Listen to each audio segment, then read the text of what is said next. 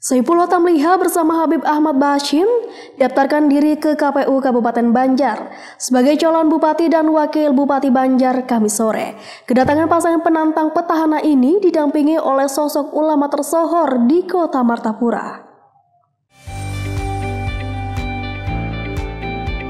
Di hari terakhir pendaftaran calon bupati dan wakil bupati Banjar, pasangan Syaifullah Tamliha dan Habib Ahmad Bahashim turut daftarkan diri mereka ke KPUD Kabupaten Banjar Kamis sore.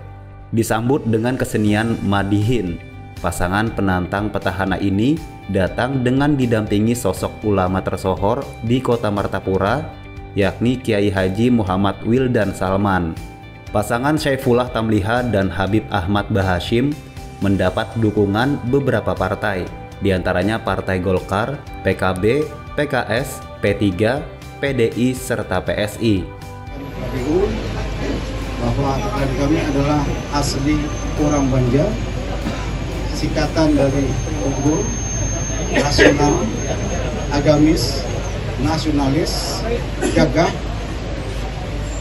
beruntung, sejahtera, dan rukun.